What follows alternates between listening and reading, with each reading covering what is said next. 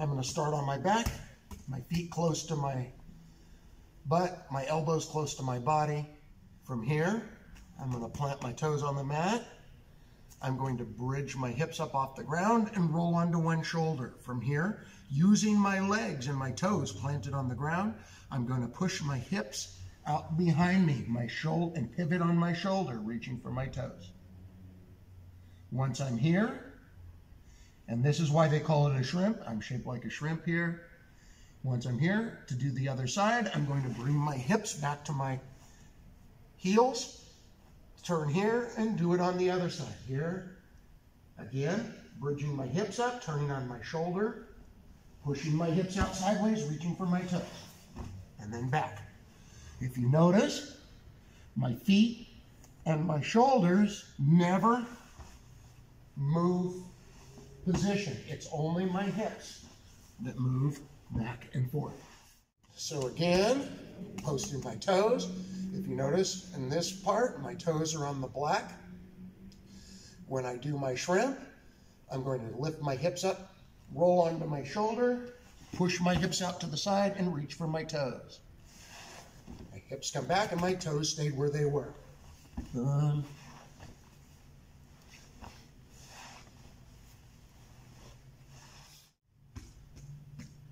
Toes are posted, elbows are in. I'm lifting my hips, rolling to my shoulder, pushing my hips out sideways.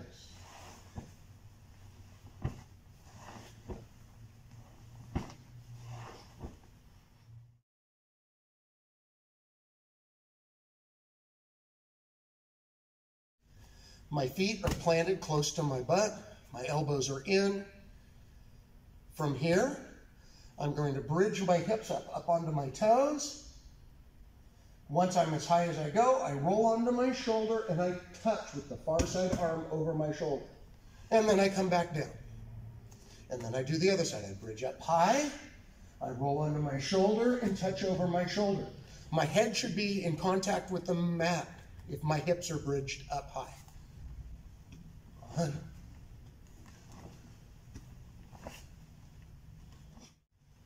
So my feet are closed, my elbows are in, I bridge my hips up high, up onto my toes, rolling onto my shoulder, my head's in contact with the mat. Hips up high.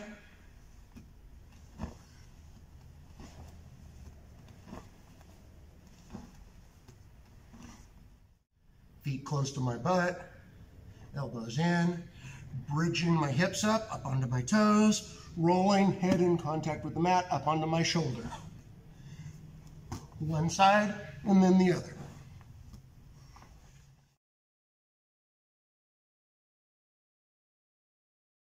This is an important uh, warm-up. It'll teach us to roll our head side to side. Most people will find one side easier than the other. It's important to practice your bad side as well. For here, to do our backwards roll, we're gonna put one arm out to the side. We're gonna roll back on our back with our feet up our free hand is going to go over and go on the ground next to our head. What we're going to do is our toes are going to come over our head. We are going to look towards the arm that's on the ground and put the ear. So in this case, my right arm's on the ground. My right ear goes to the mat. Then I roll all the way back to my knees. I can use the hand over my head to push. So again, I have one, one arm out. This one's going to go up by my head. As I roll backwards, my toes go over my head, and I'm gonna look towards the arm that's out and put that ear on the mat. So it's here, ear on the mat, rolling back to my knees. So again, arm out, here, ear on the mat, looking towards the arm that's out. Arm out, here, looking towards the arm that's out, rolling over that shoulder.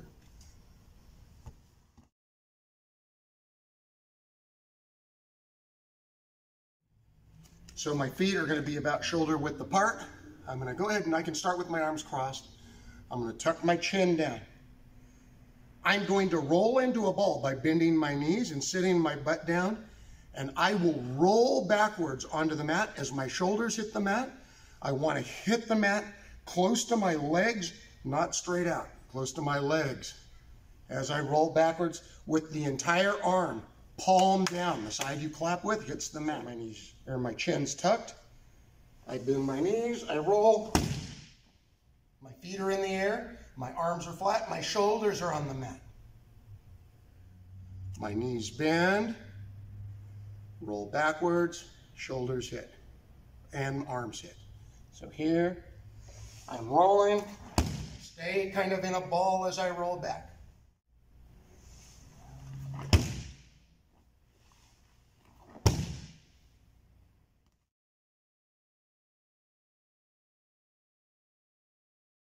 What I'm going to do is I'm going to stand on one foot, the other foot's not on the ground.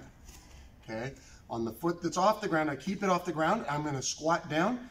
The arm on the same side. So in this case, my right leg, my right arm is going to be the one that hits the mat. I'm going to land on the side of my body, not flat on my back. So here, I'm going to bend down. And as I bend, I want to fall sideways, keep my chin tucked and my knees apart. Your arm and leg should hit at the same time. So again, I'm here. I'm gonna bend my knee, and as I bend, I'm going to fall sideways, keeping my chin tucked. I'm going to hit the mat with my arm and leg at the same time, and my other knee should be up.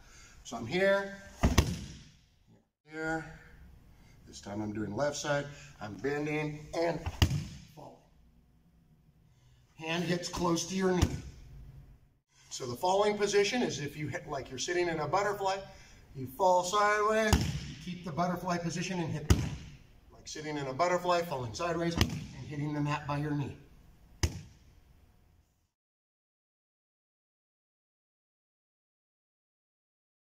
I'm going to start with my feet in front of me and my knees apart. I'm going to post one hand on the mat close to my hips, and I post the opposite foot on the mat.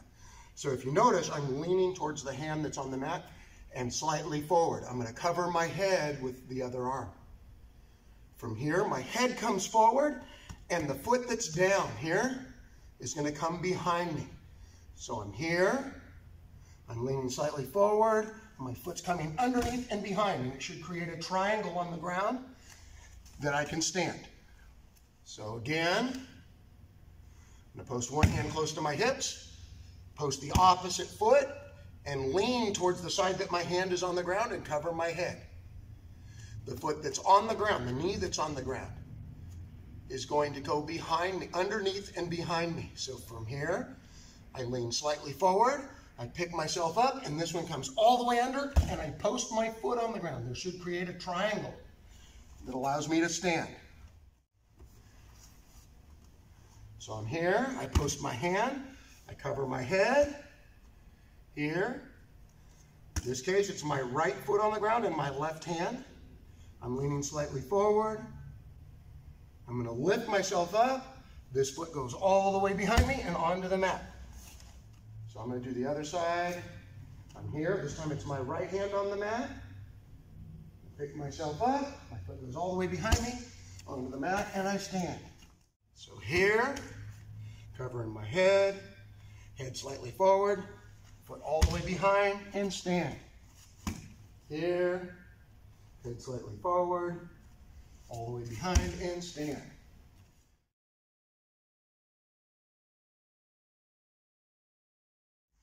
So from here, I'm going to sit. I can put my hands on the mat. I can put my knuckles on the mat, either way.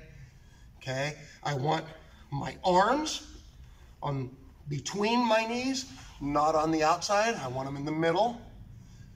Okay. I'm going to keep my head up. I'm going to jump my feet back and keep my bottom as low as I can. So it's here, feet back, my head stays up. When I jump forward, my hips stay low and my head stays high.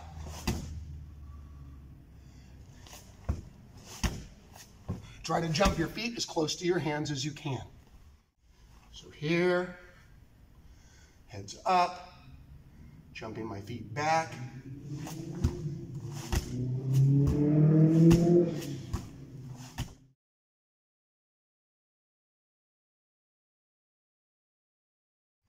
My hands are on the ground. The difference is I'm going to bring one knee in the middle between my arms. One foot goes to the side. So I'm going to go here, and one knee's in the middle. Notice my foot is sideways, not behind me. It's here. If we draw a line across, it should be on the same line with my knee in my hands.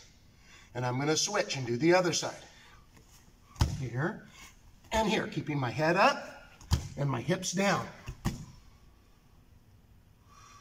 My knee is not touching the ground. I am on my toes.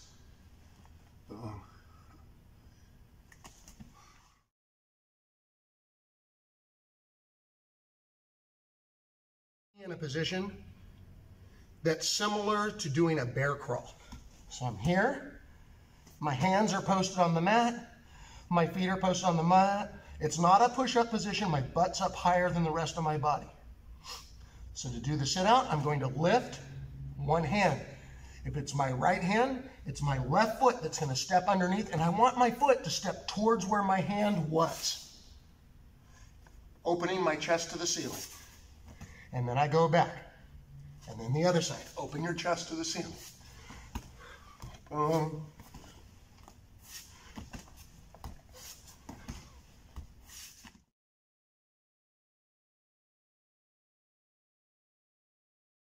So if I'm in a wrestling stance, in my wrestling stance, are my feet are about shoulder width apart, one foot's forward, one foot's backwards, my toes, my belly button, and my nose are all facing the same direction. My elbows are in and my hands are in front of me. I want to bend my knees. It'll help with my sprawl because the, the more I bend my knees, the closer to the ground I'm going to be. To do the sprawl, my hands go to the line where my toes are and my feet jump back. My lead foot side is going to drop low. So when I go here, if I do it slow motion, my hands go down, my feet jump back, and I drop the hip on the side of the lead foot. Here, full speed would be, here, full speed would be. So notice my toes on the line. My hands will go to that line when I sprawl. Because it's my left foot forward, it's my left hip that drops. It's my right foot forward, it's my right hip that drops.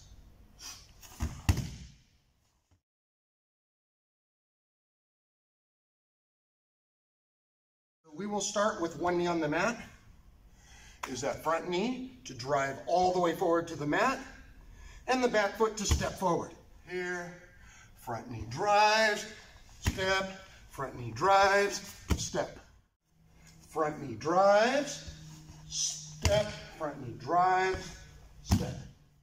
Now, a full penetration step would be from a wrestling stance. Here, I'm going to get low. I'm going to drive my front knee, and I'm going to step and stand. I'm going to get low, drive my front knee and step. Get low, front knee, step.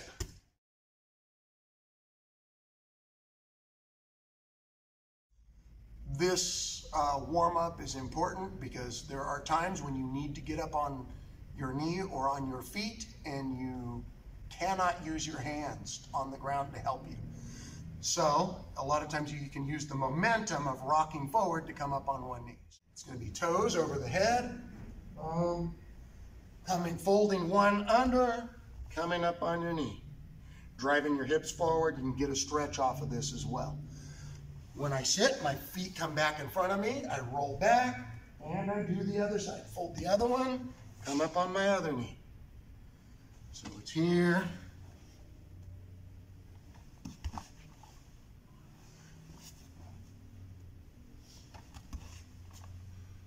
Same thing here. Toes over the head. Fold. Coming up on one knee. Toes over your head. Fold. Come up on one knee.